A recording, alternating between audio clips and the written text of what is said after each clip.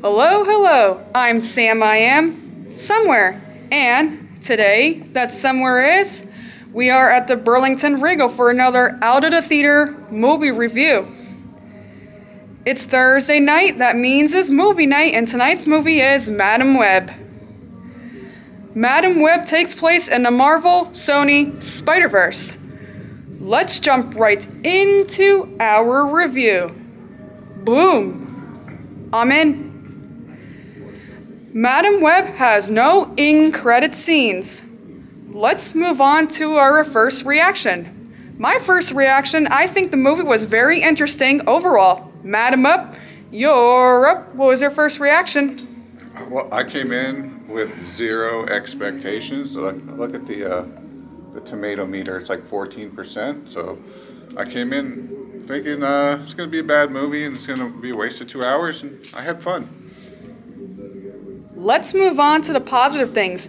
My positive things was I like the music that was in the movie. I like Dakota Johnson, that was Madam Web. She did an amazing job. And I also like the bad Spider-Man. Plus, I liked his outfit. That that looked really amazing. And I liked the action that was in the movie and the other characters. Madam Up, what were your positive things?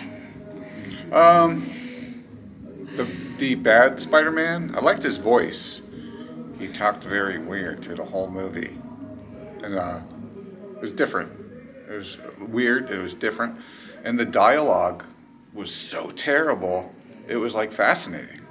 Dialogue was had me laughing out loud. Like it was fun. Those were my positive things. Let's move on to the negative things. My negative things was I don't like the writing and the characters were dumb in a movie. Adam up, Madam up, what were your negative things? Uh, did you say Madam Up? Yes. Ooh, bird. I don't have too many negative things. I think the writing w- was bad, and like you said, the characters were making kind of dumb decisions throughout the movie. But maybe I would say it was a little long. Two hours, it was maybe a little too long.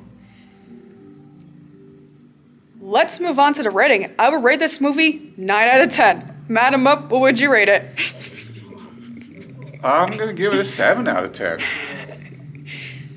Would you pay to, Would you pay to go see it or nah, you can just wait for streaming? I would pay to go see it. I, like I said, I, I had fun watching this movie. I would pay to go see it too because I also like Marvel movies as well. Oh, I, I did think of one more negative thing. Um, it was a little light on action. There was action, but it was a little light.